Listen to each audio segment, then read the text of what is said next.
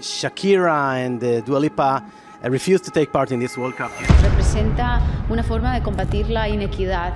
Lo respeto. De, de los derechos humanos hay que respetarlos y apoyarlos. Es algo tan inherente a mí, a mi naturaleza. What the problem? I mean, I'm rude? Why I'm rude, Maloma?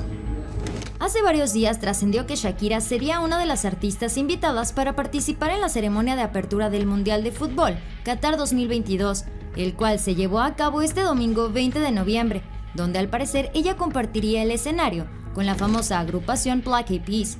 Ahora, medios españoles reportaron que la expareja de Piqué rechazó la invitación por presión de sus seguidores, esto debido a los señalamientos al país sede de la Copa del Mundo, por no respetar las garantías de las mujeres, los derechos humanos y penalizar a la comunidad LGBT así como la pérdida de miles y miles de trabajadores inmigrantes desde que el país fue seleccionado para celebrar el Mundial. De acuerdo con información de la periodista Adriana Dorronsoro, la intérprete de Monotonía declinó su participación en el evento deportivo. Ella comentó, me han confirmado que Shakira no va a actuar en la ceremonia de inauguración, pero lo que no me confirman es que tenga algún papel a lo largo del mundial. No, but I'm just asking that people are going people are going to ask. You don't do that. What the problem? I mean, Hubo muchos famosos que se negaron a participar en Qatar 2022 debido a los contratiempos sociales en dicho país. La famosa cantante británica Dua Lipa fue la primera en exponer que no tiene deseos de participar en un evento realizado en Qatar por no respetar los derechos humanos. El legendario rockero Rod Stewart reveló que le ofrecieron una cantidad millonaria para amenizar este evento deportivo, pero él también se negó. A través de medios de comunicación, él comentó, me ofrecieron mucho dinero, más de un millón de dólares para tocar ahí hace 15 meses. Yo lo rechacé, no está bien ir, y los iraníes también deberían de estar fuera del Mundial por suministrar armas.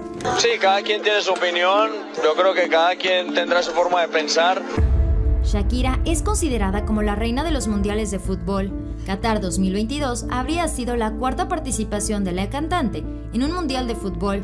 Y es que en estos días pasados se terminó la cuenta regresiva para el inicio de la Copa del Mundo Qatar 2022. La ceremonia de inauguración se tenía estimada que iniciaba a las 8.45 hora del centro de México y a través de las redes sociales de Qatar 2022 confirmaron la última canción oficial del Mundial de Qatar 2022 interpretada por Fahad Al-Kubaisi y Jungkook de la agrupación BTS.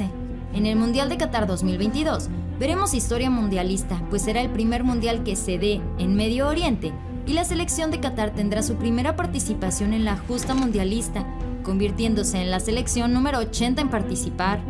Esto fue Famosos de Cerca. Dale like a este video, suscríbete a nuestro canal de YouTube y síguenos en Facebook. Recuerda que puedes ver todos nuestros videos. Espero que tengas un hermosísimo día. Nos vemos muy pronto.